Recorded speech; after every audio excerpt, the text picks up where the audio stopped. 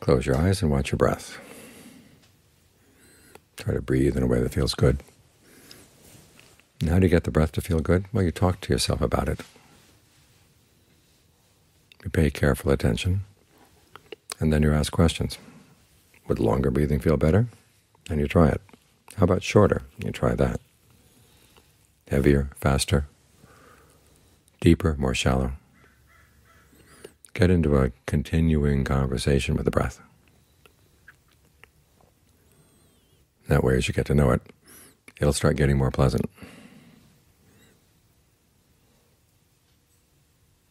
Then the next question is how do you make sure that it stays pleasant? So it's a continuing conversation until things get really good inside.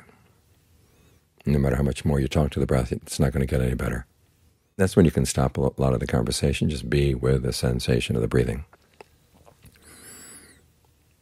Now, for some people, it's a pretty quick conversation. Other people, it can take for a whole, a whole hour as you explore the different ways in which the breath energy does and doesn't flow in the body. But it's all to the good. You're getting to know the present moment really well. It's good for the health of the body, good for the health of the mind. And much better than the conversations the mind normally tends to get engaged with. We read the descriptions of the First jhana, and this is a directed thought and evaluation. It sounds like it's something you've got to start doing that you haven't been doing already. We've been doing it already. It's just that it hasn't been focused on the breath. It's been focused other places, or hasn't been focused at all. It's just been kind of wandering around. What makes those two qualities a factor of jhana is that you're focused on something that is in line with the four frames of reference, and you stick with it.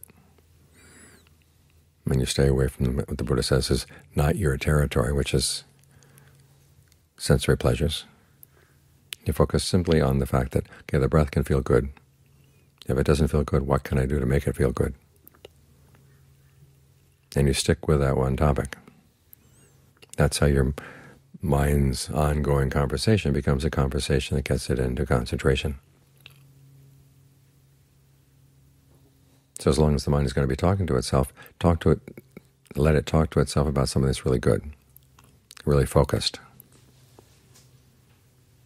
It's the focus that makes a difference. It's like the sunlight. It can shine down on things.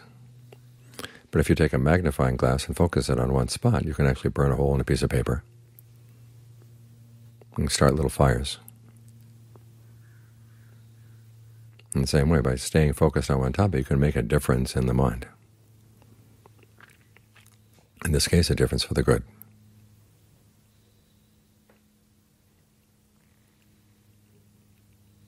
This is what mindfulness is for, is to help remind ourselves that you've got to stay here. You might call it remindfulness